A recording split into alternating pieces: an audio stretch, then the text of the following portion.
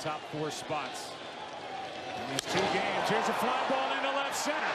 Back is Bellinger at the wall. The game is tied. Steve Pearce.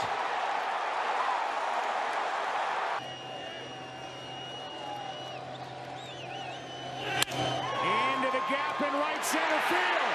This ball is down into the wall. It will empty the bases. Steve Pearce,